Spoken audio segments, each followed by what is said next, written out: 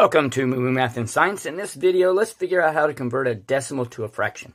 And let's follow these steps. I'll go through very quickly because I'll work an example. First, we're going to write the decimal as if there's no decimal. Sounds weird. Then we're going to create a fraction with 1 in the denominator. Then we're going to count how many numbers are to the right of the decimal of the original number. And then we're going to take this number from step 3 and write this, write the number of zeros to the right of the 1, and then we're going to reduce. So let's see that played out. Step 1, I'm going to write it as if there's no decimal. Okay, next I'm going to create a fraction with 1. I'm going to count how many numbers are to the right of the decimal, and that is 1. I'm going to take this number and write the number of zeros, and that is 1. So now I have 6 tenths. Now, I can reduce this, and here's what I like to do is I like to create a little chart because it just, I think, keeps you a little bit more organized. You don't have to do this. You know, you can just divide, but this makes sense to me. So I know that 6 and 10 are both divided by, divisible by 2. 2 goes into 6 three times, and 2 goes into 10 five times. These are both prime numbers, so it's reduced. It is 3 fifths.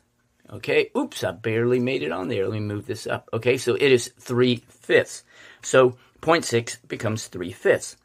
Let's work a couple more examples. So what first thing I do is we're going to create a fraction and I'm just going to write 75 and just act as if there is no decimal there. I then just write a 1 and I count how many numbers are to the right of the decimal. I have 1, 2. So I just write two zeros. I then need to simplify this, and I'm going to show you a simple way of simplifying.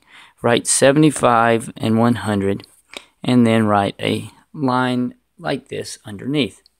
Then try to figure what goes into 75 and 100 evenly. I can use 5 or I can go 25 because I know my 25s and I know 25 goes into 75 three times and 25 goes into 100 four times. I now have a prime number, and the last test I do, will the prime number divide into the other number? In this case, no. So you have, there's your fraction. So 0.75 is equal 3 fourths. Okay? Let's work at another example of these. Shortcut method. We have the fraction 0.35. I write a 35, place it, uh, create a fraction, write down a 1, I have one, two numbers to the right. Okay, I then need to simplify. I'm going to write 35 and 100 next to each other. In this particular example, uh, I know that 5 will go into it, so I put 5 on the outside. 5 goes into 35 seven times, and 5 goes into 120 times. Okay, so at this point, 7 will not go into 20. 7 is prime, so the fraction is 7 twentieths. Okay, now let's go one more, please. Let's move it up to 0.75 and make sure everything is correct. Okay, so let's go ahead and I write 875 as a fraction. I write a 1. I count one, two, three. So there's one, two, three. Okay. I then write 875 and 1000 under a line. I then divide it by 25 because I know 75 and 100. I know this is divisible by 25. Okay. Uh, 25 will go into 875. Let me double check that with my trusty calculator. 35 times and 25 goes into 1040.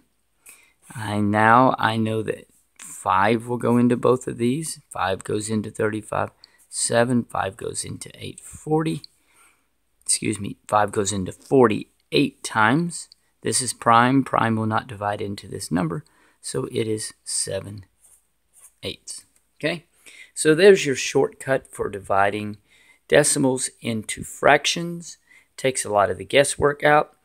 just remember, write a 1, count how many numbers are to the right, add zeros, and then simplify, and you can use this method for simplification. Hope this helps, and thanks for watching. Moo Math uploads a math, science, or motivation video every day.